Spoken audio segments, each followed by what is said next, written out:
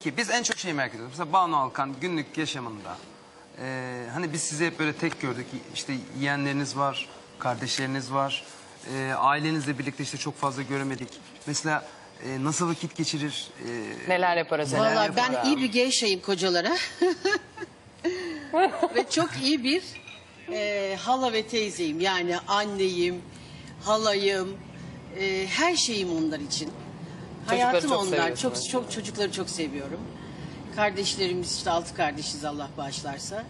Böyle gidiyor bebeğim mutlu. Yeni bebeklerimiz oldu katıldı aileye. Peki siz uzun beraberlikler yaşadınız. Siz neden çocuk yapmadınız ya da yapmayı Ah düşünmediniz? Alişan sorma bebeğim. Neden? Kısmet mi Çok olmadı iki mesela? değerli e, eşe sahip oldum. İkisinden de olmasını isterdim ama yani ben ilk defa e, çok da tabii ki isterdim bir Afrodit daha kalsın değil mi benden O sonra. Hoş olmaz geliyor mıydı? tabii yeni katılanlar Yok, var. sizden bir parça olarak olması Evet, başka bir şey tabii ki. Neden onlar olmadı? da benim parçalarım. Yani bir e, ilk defa doğurmadığıma üzülmüyorum. Cengiz Han on- o benim evladım gibi. Hepsi evladım.